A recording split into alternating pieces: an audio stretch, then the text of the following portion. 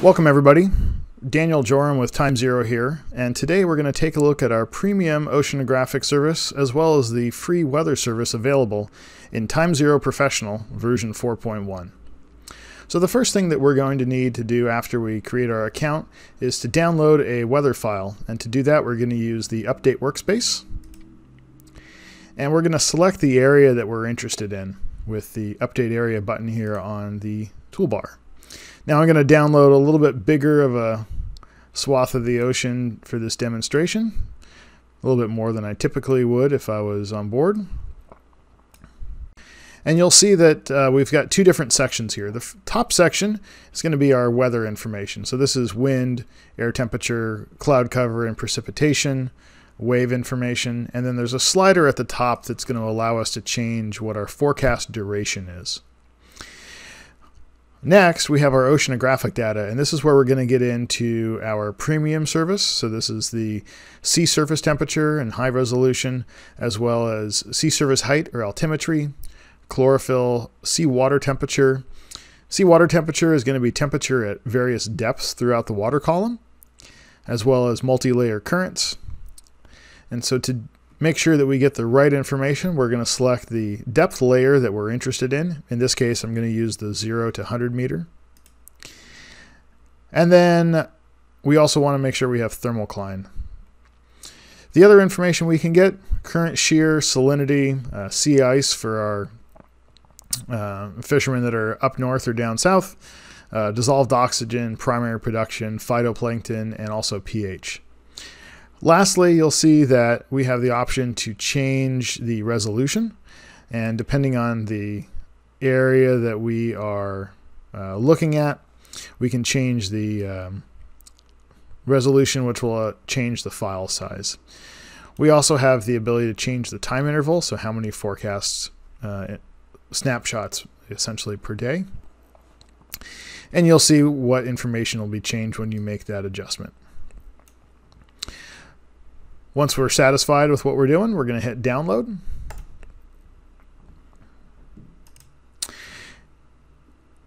Once our download is completed, then we're going to go ahead and take a look at the planning workspace uh, to start with.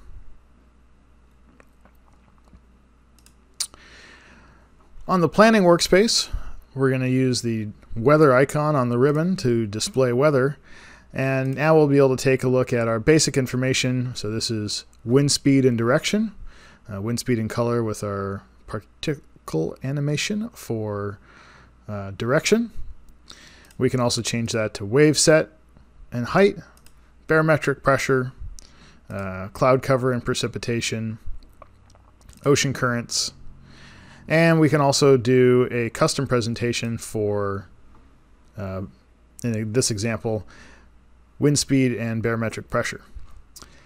To display this, I can animate the weather file, and so we can see what that change is going forward. We can also grab the time bar anywhere and scroll forward to a specific time.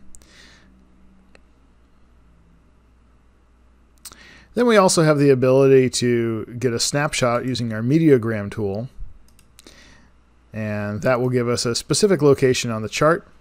You can change that as this is a dynamic uh, snapshot. All right, so now let's take a look at our premium service. And to do that, we're going to use a dedicated workspace, which is the Oceano workspace. And for those of you that have used our fishing workspace, you'll see a lot of similarities in our user interface here. So the first thing that we're going to do is we're going to take a look at the altimetry, which is probably the most important factor uh, that we're going to use. So to start off with, we'll use color shading and we'll select sea surface height. So the concept is that the ocean isn't flat. We have areas of warmer, less dense water that are going to rise, and we have areas of cooler, denser water that are going to sink.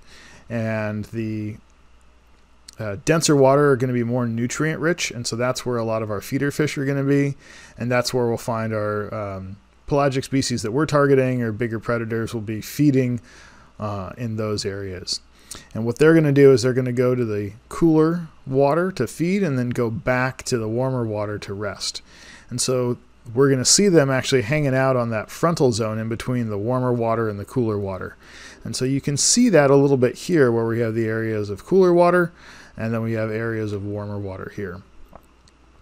To make it easier to see, we can add in our ISO lines. So this is going to be sort of um, a contour line graph of the same information.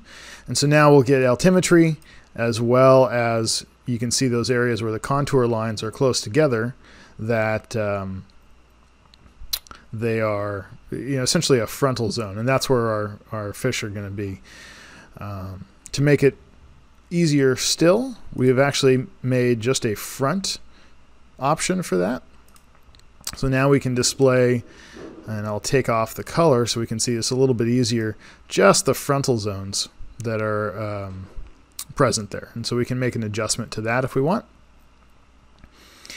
And now what I like to do is I actually like to overlay our current information on top of that frontal zone. So what we're going to do is we'll add another layer here and uh, we can do this either as uh, particles or arrows. Maybe I'll start with the particles just to give you a sense of what our currents are going to do.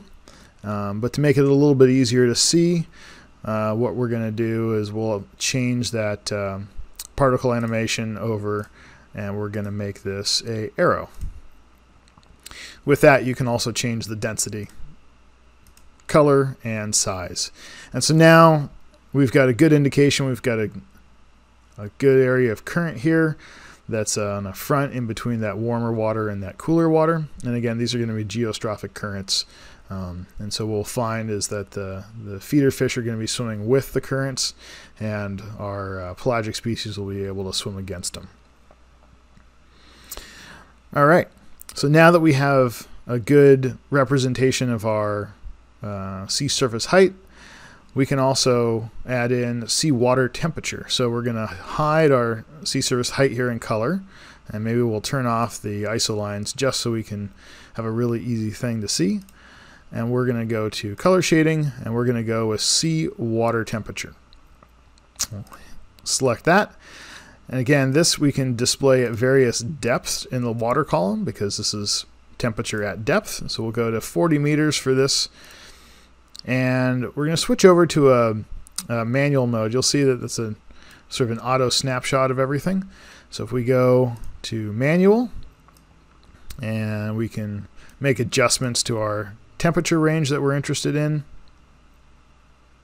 You need to do that with a slider. You can double click and enter a value. And you'll see that I have this in uh, meters and in Celsius.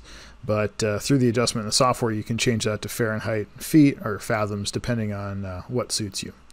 So now we have a, a, uh, couple of frontal zones that match the sea water temperature that we're interested in.